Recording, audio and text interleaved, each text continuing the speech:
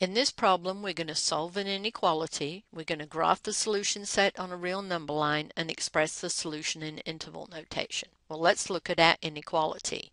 It's x squared minus x is greater than or equal to 12.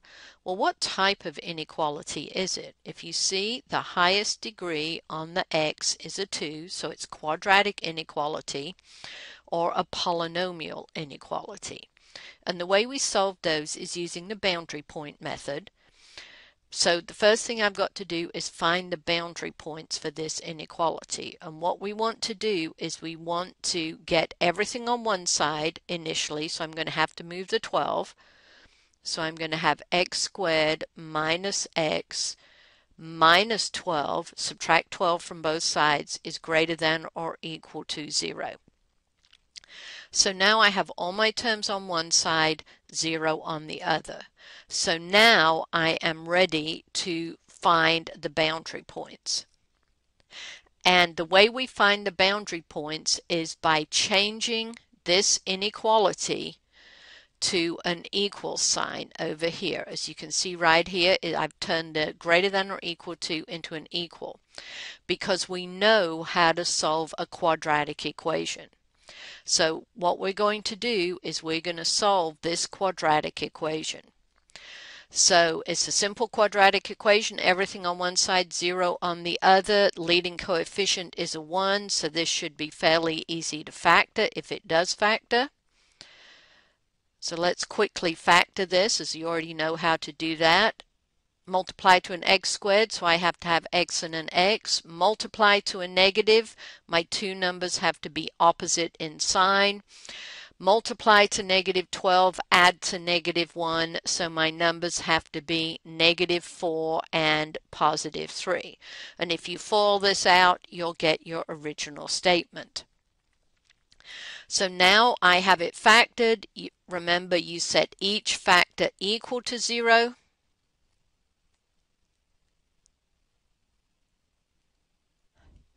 And then solve these little equations. x equals negative 3 and x equals 4. So these are my boundary points. Boundary points are points at which the original inequality can change from a true to a false statement.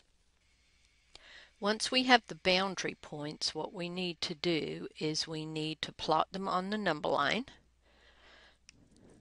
So here's my number line. And so I have boundary points at x equals negative 3. So here's one. Hopefully it'll draw for me. There's negative 3. And my other one is at x equals 4. So what this does is this divides the number line into three regions. The region on the left, the region in between the two boundary points, and the region on the right. And once I've figured that the three intervals, all I have to do is test each region. So I'm going to pick a test point in each region. And so the first region I want is from negative infinity to negative 3. So all I need is any point in this region. I can't use the boundary point. I can use any point to the left. Well, the simplest is x equals negative 4. And since I've scrolled up, we can't see the original inequality. It was x squared minus x is greater than or equal to 12. So now I'm going to plug negative 4 into my original inequality. So is negative 4 squared minus x, which is a negative 4, is that greater than or equal to 12? I want to see if this is true or false. Negative 4 squared is 16 minus a negative 4 plus 4. Is that greater than or equal to 12? Is 20 greater than or equal to 12? Well, that is a true statement. So that means I want this region.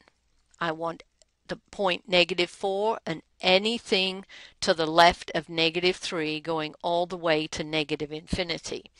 Since the only places that this inequality can change from true to false is at the boundary points, all you test is one point in each region. So during the pause, I wrote down what happens when you plug x equals 0 and x equals 5 into the original inequality.